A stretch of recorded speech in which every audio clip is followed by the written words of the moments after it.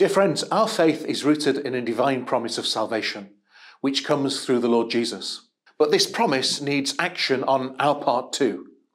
We cannot be passive, we cannot be bystanders and simply hope to be saved. We must embrace Christ in our hearts.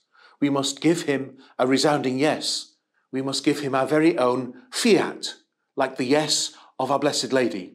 This is why turning to Mary helps us to draw closer to Christ.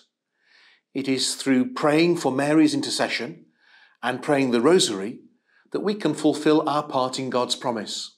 Mary, our mother, is a model for us about how to be a true follower of Christ. She is the perfect disciple. And it is in perfect obedience to God that Mary said, I am the servant of the Lord. Yes, let everything you have promised be done to me. This was an active and resounding yes. It changed not only her life, but the lives of all of us. Is this the way you live your faith? Is this the way I live my faith? Are we following the example of Mary in surrender to God, in obedience to His will? What does it mean to surrender to God, to His will? Sometimes people think this too is a passive action. But letting something be and letting something go is not the same thing. It's about making room in our hearts for God to act freely in us. It's about turning to Christ with our petitions and letting His will be done. It means trusting in God as our Father, just as Mary trusted in God. At the wedding at the Cana in Galilee, she told us to trust whatever the Lord said. Mary saw people in need. She saw people who could not overcome the issue they faced. They ran out of wine. Great embarrassment. They couldn't be helped without her Saviour. So she, we could say, interceded for them.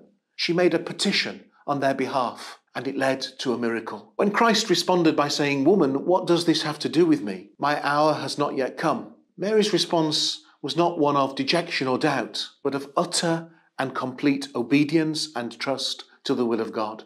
Do whatever he tells you. Those were the words of Mary at Cana in Galilee.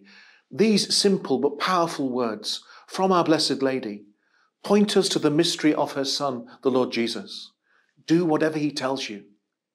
By following Mary's example, leaving our burdens and our prayers with Christ, this is how we too can become a people who are pilgrims, a pilgrim people of God's promise. And this is where the rosary can be transformative for our lives. It's such a powerful, beautiful prayer. It's why I take a rosary with me everywhere. One always hangs at the side of my bed.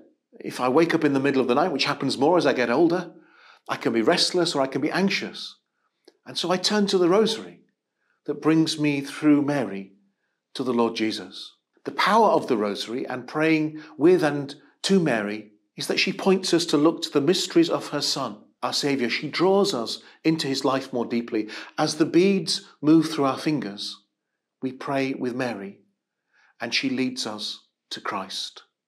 As Mary shows us the way to Christ, we can let ourselves be at peace, and we too can do whatever he tells us. The Rosary is a remembrance of God's promise. We can hold it in our hand. A virgin will conceive, God promised, and give birth to a son who is forever Emmanuel, God with us. This is what the Rosary proclaims. God is with us in our joys and in our sorrows. God is with us in our successes and our failures. God is with us in times of darkness and light. God is with us through life and death and into eternal glory. So, my friends, this May, the month of Mary, Make it a time when you journey with Mary on your way to Christ. Surrender and make, do whatever He tells you, a part of your life. Pray the Rosary. And may Mary, our Blessed Mother, the star of the new evangelization, teach us to love the Lord Jesus as she loves Him, so that others too might know His love. May God bless you and keep you.